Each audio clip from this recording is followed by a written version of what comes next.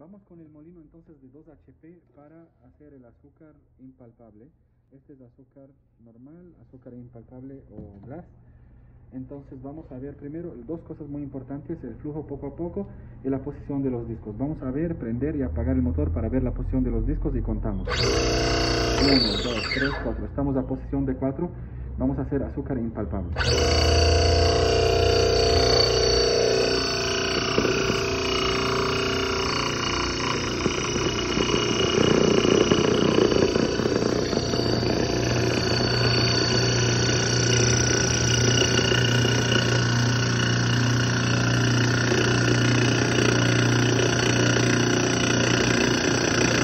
De arriba poco.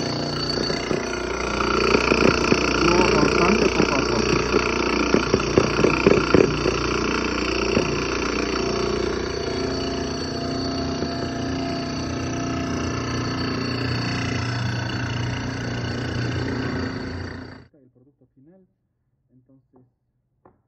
es el azúcar impalpable. Es una harina, la verdad, así salió, azúcar impalpable.